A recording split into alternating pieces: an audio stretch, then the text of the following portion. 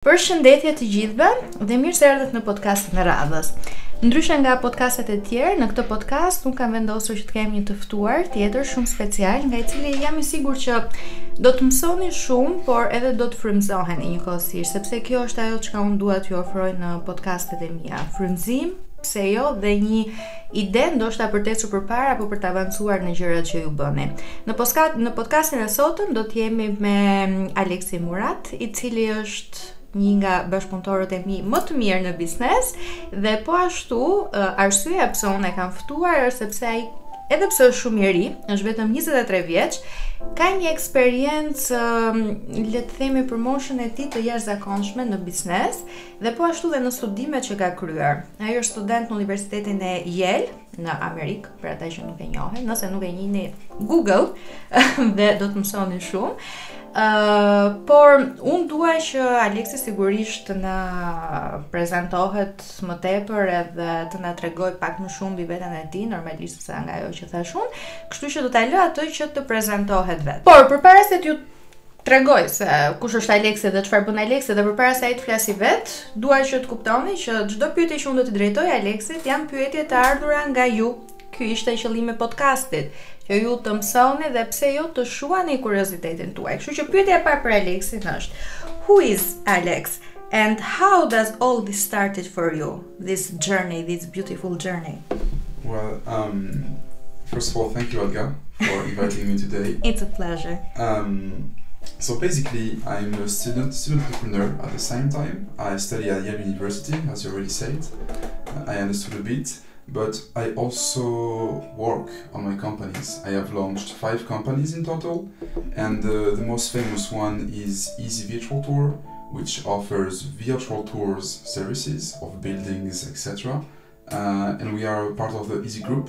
Uh, I bet you you know EasyJet and those brands. So we are part of this brand, and we are now working with Stelios, the founder of EasyJet. Um, so basically, yeah, um, I'm an entrepreneur and also a student, a student at the same time. Um, it all started a long time ago. Uh, a funny story is that when I was six years old, mm-hmm. I was uh, taking leaves on the floor and rolling fake cigarettes on the, and I was selling those in primary school. I was like seven years old, and I was selling those cigarettes uh, in school, making five euros profit from each cigarette. Uh, so I was already a, kind of entrepreneur. I loved making businesses, managing. Uh, you are born like, like, this. Yeah, that's, that's okay. the thing. So that's how it, it all started because I was like that since the beginning. I loved it. Okay. It's kind of a passion. Okay. It was it was really nice. I also have uh, other question for you, but I need to read it because I can't remember all. What are some of the ways that a young man or a young woman can start to make money online? Well, basically, there are plenty of ways to make money online.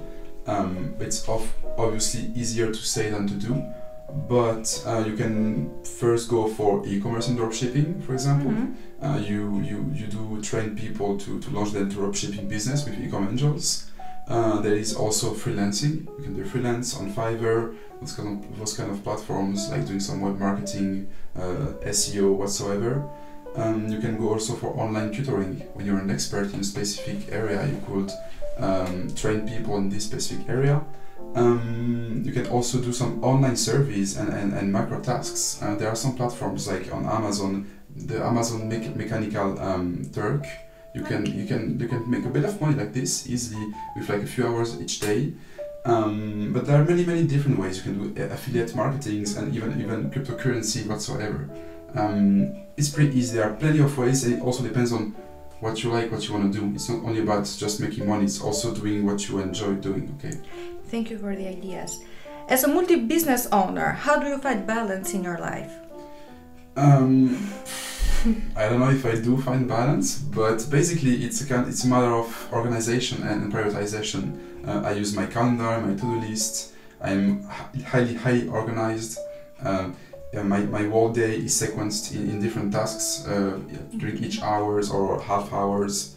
Uh, so that's the first thing. The second one will be delegation. I delegate a lot. A lot. Um, my, my, my employees uh, work a lot legally. they, they do their hours uh, as they should but I, I, give them a lot of tasks and missions and objectives so that I, I, I would have less work to do and I would be able to manage my studies and, and, and my companies at the same time.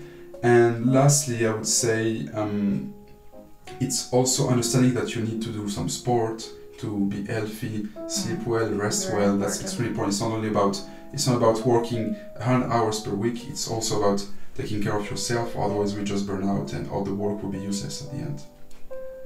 Sure, it's it's really important. And uh, how can someone uh, someone find an idea for online business for a startup to do something? How can Well, you can identify problems and needs around you, surrounding you, anywhere on, on the street and in a restaurant, where online, uh, in the socials, you can, you can you can see many issues that you can solve. You can also ask some people around you what kind of issue you are facing, etc. That's like when you wanna have a new idea that no, nobody had before. Um, but I basically believe in doing what others do, but in a better way. So what I do usually is that I analyze the market, the trends, etc. For example, VR with one of my company, we do virtual reality, and uh, I, I, I look at the competitors. What are they doing? Okay, they do that. Great, there is potential, and I, I, I see the flaws and issues in their business model and business plan. And I'm gonna do this and this and this in a better way, so that will be ten times better than them. So I don't find the new idea that nobody had before because that's not really how it works. if you look at Zuckerberg, he, he he he stole the idea of someone else. Even Elon Musk with Tesla, he wasn't the first one to do electric cars. It, it existed before. So it's it's more about doing what exists already but better. What I have tell you? Mm. I have Good. tell that uh, in my lesson really Mhm. often. And what are the essential element, some of the essential element to have success in business as a beginner? Um, as a beginner, it means you don't have much experience or Mhm. maybe none. Um, first of all, it's it's mostly about about willpower and mindset. Mhm. If you have a huge mindset, well, if you believe in what you're doing, if you believe that you're going to succeed. Uh, for example, I never I, I, I never think by saying oh uh, if if I succeed, I'm always like I will succeed anyway. That's how, it, how, how that's how it's gonna be. So maybe I will fail, so I just have my, my straight vision, objectives, and aim. Um, but you, maybe you're gonna fail, maybe what you were convinced about will fail, but it's not an issue. Then you're gonna learn, you're gonna be resilient. So it's more, if you're a beginner, it's about mindset and willpower. Um, it's also about being open-minded. You have to be open, Mm. uh, network with other people, being surrounded by uh, people with the same mindset as yours, people who are entrepreneurs, who have ideas, who are, who are hard workers. That's really important, being open-minded. And lastly, um, being a risk taker. You have to take risks. If you're a beginner, you don't know anything, so you have to be a risk taker, accept that you will fail, uh, and, and that, yeah, basically, be a risk taker. Another question that I have for you, it's about relationship. How does the relationship affect the success of a business? What solution do you have for that? How do you support that uh, relationship in your life avec uh, avec ta famille, uh, with your family, with your friends, with other people? How do you choose the people that you have in your life around Well, you? Uh, we don't choose family, so I do not choose for, for the family. Uh, regarding friends, um, I also don't really choose. It's all about the feeling, the energy between each other. But uh, it's it's more and more about the studies and, and the entrepreneurship, etc. I, I'm more and more surrounded by entrepreneurs, by bright students, etc. Um, but regarding family and, and social life, um, I don't have the right balance yet, I think, because I don't see my family that much. Mhm. Uh, like maybe I see them once every six months uh, when, when I can, whenever I can. But um, that's a choice. It's bye because bye family. no, not by my family, but uh, see you see you next time. Um, and, and just to finish, um, it's it's it's it's about it's, it's a choice. I made this choice of I, I have this ambition, this objective, so I will work as much as I can, and I will sacrifice uh, sometimes uh, to not see my family, and, and I accept it. Another question. Do you think that school is important to be successful? You are an excellent student, you study in Yale University. This Well- question is all about that. Yeah, Is but school important? school uh, is important. It is not mandatory, so you Mhm. can succeed without school. Uh, anyone can succeed without school. I think that school is more like a booster. It, it, it helps you to gain some years of work uh, because you get the knowledge, knowledge, you get the network, you get the activities and opportunities. Uh, for example, I was talking about Easy Virtual Tour. Uh, I couldn't get into Easy Group without being a student because I'm a student in one of Stelios, the founder of EasyJet, one of Stelios uh, University. So he's an alumni from my London University, and so we are we have a link together. We are we are it creates connections and networking. So that's and I gained like maybe ten years of work by joining Easy Group. Um, so you don't you don't need school to succeed. Uh, it, will- it it will it will just take a bit more time, I think, for some of them. I found school also it's a challenge Mm. to see how much we worth, how much we can uh, we, could, we can be uh, we can achieve something if we can achieve something of, or not it's Yeah, yeah, a of challenge it's a real challenge for me for example it has been a real challenge Really yes interesting. Yeah, yeah. It teaches you how to be uh, organized, how to uh, how to handle uh, handle like tough situations, Mm. etc. Yeah, yeah. I agree. and what about vision who is your vision for the future in business or in your life It's a pretty broad question, so I, I, will just choose one specific topic. Uh, I believe in AI a lot. I think AI is the future right now. Uh, I do VR, AR, all those new technologies and innovation. I, I think that AI is the thing uh, to invest in, to, to work in, etc. Because, um, of course, AI help us to, to do many, many different tasks. But I think AI will, at the end, do the job of many, many, many, many people. we'll need a training for that also. Yeah, so we, we, could, we could do training together about this. I would love to. Of course, why not? Another question. Why we need to have an example, an ideal in our life and who is yours? I don't have any. You don't have any? I don't have any. Okay. I, I, I follow Elon Musk. Many of my friends call me Elon. Like in Bocconi, they call they, they were all calling me Elon. Uh, I love Elon Musk because he's so crazy. He has insane ideas. He's a hard worker. I, I like his vision, but um, I don't really have an idol. Like it's just about. I, I just listen. I just learn from the others. Listen to each, each and everyone's advice. Not, not even the brightest entrepreneurs could be the smallest entrepreneurs. I even listen to them uh, and I take anything I can take um, and learn. So that um, yeah, I don't have a specific idol. I just You have yourself, anyone. I guess. have yeah, kind of. let's say if you want. Another question that I have for you is where do you see yourself in uh, 20 years, after 20 years? Um, by then, I would love to sell some of my companies, uh, having a lot of money, enjoying my life. Let's say. A billionaire, a future billionaire? billionaire would be a lot. We never know, but I don't know. We'll see. Who knows? Twenty years could be achievable. We never know.